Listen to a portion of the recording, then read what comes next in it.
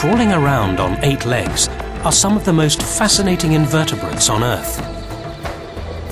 More than 34,000 species of spiders roam every continent except Antarctica. These creepy creatures can survive almost anywhere, even in water, as long as food exists nearby. Spiders are members of the arachnid class that includes scorpions, ticks and daddy longlegs. They differ from insects in several ways. Spiders walk on eight legs, while insects have six. They also have two body parts rather than three. And, unlike most insects, they don't rely on antennae or wings as they move around. They have other advantages instead. Best known for spinning webs of silk, many spiders use these webs to ensnare their victims. Silk comes from special glands located at the tip of their abdomen. Delicate and deadly, a spider's web traps almost anything that comes in its path. Flying insects are particularly vulnerable.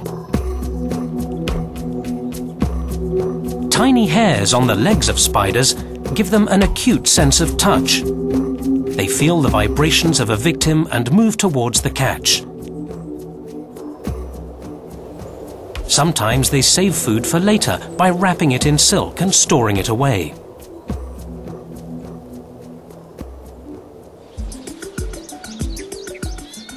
So how do spiders avoid getting stuck? Special claws on their legs help them hook onto silk strands and move around. They also make different kinds of silk, and some of it isn't sticky. Spiders depend on silk for many purposes. Besides catching and wrapping food, it protects their eggs, helps them climb, and provides a bit of shelter. While all spiders make silk, not all of them spin webs. Those that don't rely on highly developed senses to survive. With its sharp vision, the wolf spider lives on the forest floor in search of a catch. This green-legged spider lurks in the flower blossoms, ready to ambush its prey. All spiders kill their prey by dispatching powerful poisons through their fangs. But very few spider bites are actually dangerous to humans.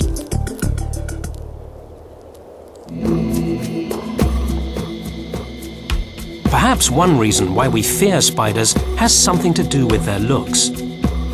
Thanks to its hairy legs and big body, this tarantula has a bad reputation. But to most people, its bite is no more harmful than a bee sting.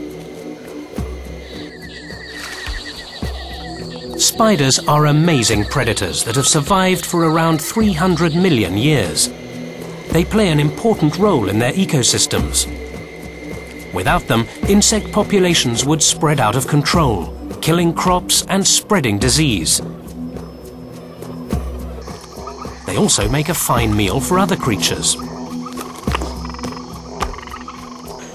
So the next time you want to get rid of a spider, think again.